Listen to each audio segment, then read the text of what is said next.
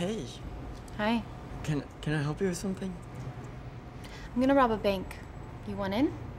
What? what? See you at seven.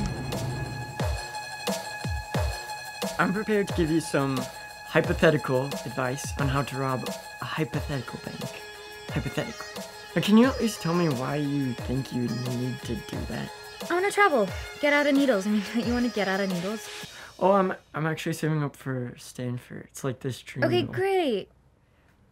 I thought you said no guns means less money. The average is ten thousand. I said 50.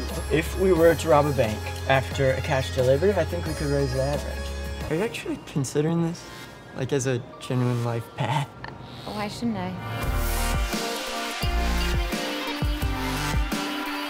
Why are we planning a bank robbery? I'm gonna make something clear for you. I'm not your little girlfriend. I'm not your buddy. Anything you think you know about me, you don't.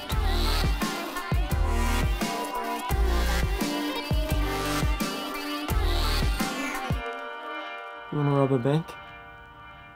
Let's rob a bank.